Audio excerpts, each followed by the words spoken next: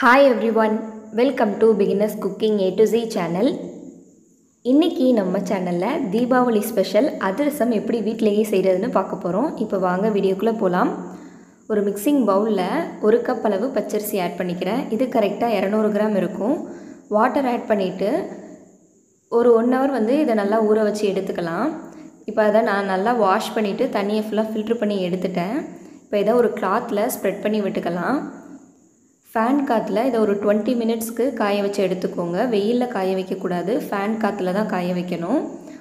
ஒரு twenty minutes காலிச்சு பார்த்ததுக்கப்புறம் அது ரொம்ப ட்ரை ஆகாமல் இப்போ நீங்கள் கையில் தொட்டு பார்த்தீங்கன்னா லைட்டாக ஒட்டும். அந்த மாதிரி ஈரப்பதம் இருந்தால் போதும். அதிகமாக ஈரமாக இருக்கக்கூடாது. ரொம்ப ட்ரையாகவும் ஆகிடக்கூடாது இப்போ இதை வந்து ஒரு மிக்ஸி ஜாருக்கு ட்ரான்ஸ்ஃபர் பண்ணிக்கலாம். இது கூட ஃப்ளேவருக்காக நான் மூணு ஏலக்காய் ஆட் பண்ணிக்கிறேன். இப்போ இதை நல்லா ஃபைன் பவுடராக ப்ளெண்ட் பண்ணி எடுத்துக்கலாம்.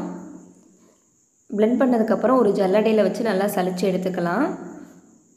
சலிச்சதுக்கப்புறம் ஏதாச்சும் அரிசி இந்த மாதிரி இருந்துச்சுன்னா நீங்கள் மறுபடியும் கூட பிளெண்ட் பண்ணி ஆட் பண்ணிக்கலாம். இப்போ பாருங்கள் நல்லா சாஃப்டாக இருக்குது மாவு. நெக்ஸ்ட்டு வெள்ளைப்பாகு ரெடி பண்ணிக்கலாம். ஒரு கடாயில் நூற்றி ஐம்பது கிராம் வெல்லம் ஆட் பண்ணிக்கிட்டேன்.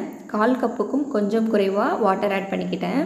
இப்போ வெல்லம் நல்லா கரைஞ்சதுக்கப்புறம் ஃபில்ட்ரு பண்ணி எடுத்துக்கோங்க. ஏதாச்சும் டஸ்ட் இருந்தால் ரிமூவ் ஆயிரும்.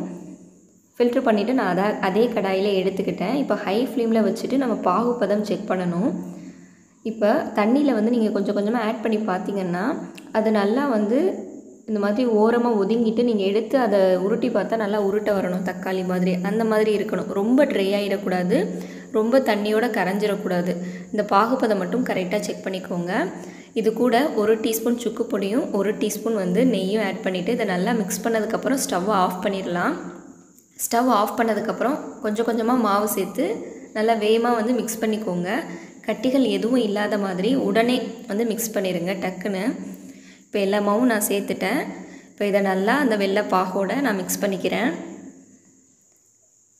வெள்ளைப்பாகோட அந்த பதம் வந்து ரொம்ப இம்பார்ட்டன்ட் அதை மட்டும் நீங்கள் கரெக்டாக பண்ணிட்டீங்கன்னா உங்களுக்கு அதிரசம் வந்து ரொம்ப அழகாக வந்துடும் இப்போ கொஞ்சம் தண்ணியாக தான் இருக்குது ஸோ இதை வந்து ஒரு பவுலில் சேர்த்துட்டு நான் ஒரு நாள் வச்சுட்டு அடுத்த நாள் தான் வந்து அதிரசம் பண்ண போகிறேன் உங்களுக்கு இதை விட தண்ணியாக இருந்துச்சுன்னா நீங்கள் டூ டேஸ் கூட வைக்கலாம். மேலே வந்து ட்ரை ஆகிராமல் இருக்கிறதுக்காக நான் கொஞ்சமாக நெய் ஆட் பண்ணிக்கிட்டேன். இப்போ இதை க்ளோஸ் பண்ணிவிட்டு ஒரு ஒரு நாள் கழித்து நம்ம பார்க்கலாம். நெக்ஸ்ட் டே ஆயிடுச்சு மே நமக்கு பார்க்கும்போது ரொம்ப ட்ரையாக தெரியுது. ஆனால் நீங்கள் இதை வந்து கையில் எடுத்து உருட்டும் போது ரொம்ப சாஃப்டாக இலகி வரும். இப்போ பாருங்கள் நல்லா சாஃப்டாக உருட்ட வந்துடுச்சு இதை ஒரு பிளாஸ்டிக் கவரில் வச்சுட்டு ஃப்ளாட்டான பொருள் ஏதாச்சும் இந்த மாதிரி கிண்ணம் வச்சு நம்ம அழுத்தி எடுத்துக்கலாம். ரவுண்ட் ஷேப் கிடைக்கிறதுக்காக. சென்டரில் சின்னதாக ஒரு ஹோல் போட்டுக்கலாம். ஆயிலை மீடியம் டு ஹை ஃப்ளேமை வச்சு நல்லா ஹீட் பண்ணி எடுத்துக்கோங்க. மூழ்கி பொரியிற அளவுக்கு ஆயில் இருக்கணும். அதிரசத்தை போடும்போது ஆயிலை வந்து மீடியம் ஃப்ளேமில் வச்சுக்கோங்க. ஒரு சைடு நல்லா வெந்ததுக்கப்புறம் அடுத்த சைடு வந்து திருப்பி விடுங்க. இது நல்லா உப்பி வரும் நல்லா அதிரசம். இப்போ பாருங்கள் ரெண்டு சைடும் எனக்கு நல்லா வெந்துருச்சு. நீங்கள் பிகினஸாக இருந்துச்சிங்கன்னா இருந்தீங்கன்னா ஒவ்வொன்றா போட்டு எடுங்க. ரொம்ப எக்ஸ்பீரியன்ஸ்னால் வந்து ரெண்டு மூணு கூட நீங்கள் அதிரசம் போட்டு எடுத்துக்கலாம்.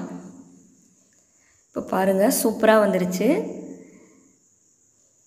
இதை கண்டிப்பாக இந்த தீபாவளிக்கு ட்ரை பண்ணி பாருங்கள் இந்த வீடியோ பிடிச்சிருந்தா ஒரு லைக் பண்ணுங்கள் நீங்கள் இன்னும் நம்ம சேனலை சப்ஸ்கிரைப் பண்ணலைன்னா மறக்காமல் சப்ஸ்கிரைப் பண்ணுங்கள் அவ்வளோதான். சாஃப்டான அதிரசம் ரெடி ஆயிடுச்சு தேங்க்யூ